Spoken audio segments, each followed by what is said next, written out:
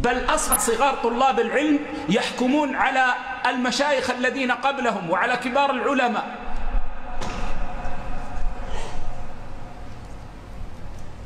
فلان عنده أخطاء وفلان عنده أخطاء وفلان عنده أخطاء وفلان عنده أخطاء.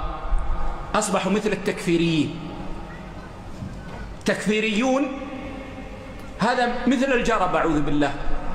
يكفر يكفر يكفر يكفر حتى ما يبقى أحد.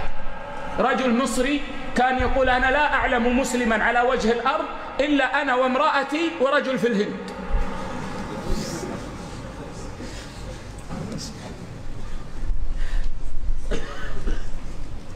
والآن بعض طلاب العلم يبحث يبحث يبحث يبحث يجد ثوبا أبيض نقيا.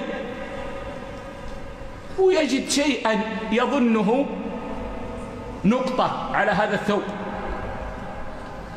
واجمع واجمع واجمع. ويظنون هذه طريقة من طرق أهل العلم في الدفاع عن السنة. والله ما كانت هذه طريقة من طرق أهل العلم في في الدفاع عن السنة.